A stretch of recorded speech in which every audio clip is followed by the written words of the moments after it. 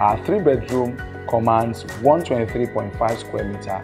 Um, now, our three bedroom, especially for people, take space to be a luxury.